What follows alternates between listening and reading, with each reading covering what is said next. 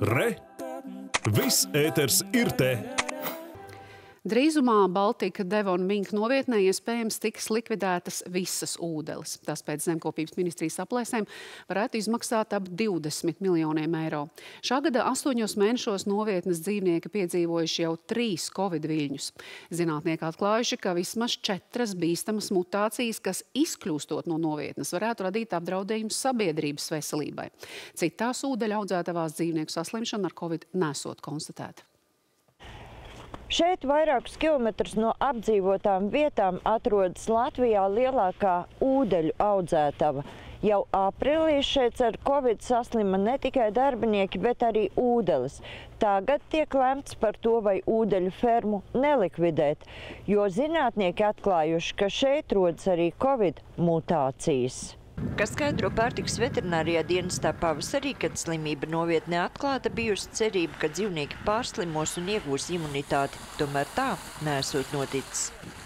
Šajā te posmā no, no aprīļa līdz, līdz šim brīdim ir konstatēta trīs, trīs viļņi šajā, nu, tā kā jā, infekcija ir tā kā mazinājusies, bet, nu, atkal, atkal uh, palielinājusies. Protams, ka jāuzsver arī tas, ka tad, kad slimība ienāca novietnē no, no cilvēka, tas bija tas posms, kad salīdzinoši tā populācija, ūdeņu populācija bija maza. Tie bija apmēram 63, 64 tūkstoši.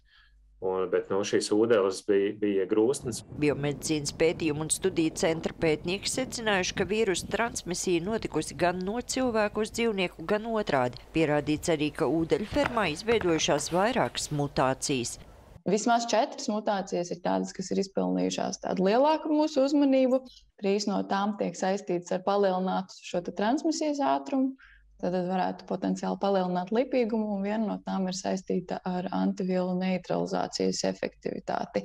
Tātad tie gan šie pētījumi ir laboratorijas pētījumi, tie nav uh, cilvēku populācijā veikti pētījumi, līdz ar to mēs nevaram tā, pieņemt tādus uh, lielākus secinājumus par to, ka uh, tiešām šāda vīrusa izkļūšana cilvēkus tad, uh, padarīs vīrusu lipīgāku vai kad vakcīna efektivitāte samazināsies. Bet uh, bažas par to ir Pamatojoties uz slimību profilakses kontrolas centra riska novērtējuma ziņojumu, zemkopības ministrija rosinājusi likvidēt visas vairāk nekā 110 tūkstoši ūdens novietnē Baltika Devon Mink. Uzņēmuma solīto rakstisko komentāru sižeta filmēšanas laikā tomēr nesņēmām, bet ziņu aģentūrē Lieta valdes loceklis paudz, ka ūdeļu likvidācija nesot nepieciešama, jo tiekot veikti ierobežojušie pasākumi. Arī nejauši pamanītie uzņēmuma darbinieki nebija no runātīgākiem. Kāds vīrietis, kurš teicās esam no Uzbekistānas, par iespējamo ūdeļu likvidēšanu neko nebija dzirdējis. Kāds cits bažījās, ka tad palikšot bez darba. Pēc PVD datiem uzņēmumā strādājot ap 80 darbinieku. Lēmuma projekts par ūdeļu likvidēšanu rīt tiks vērtēts operatīvās vadības grupā, bet to apstiprināt ministru kabinetā paredzēts 21. decembrī. Sandra Leitāne, Andrs Pāns, Retē.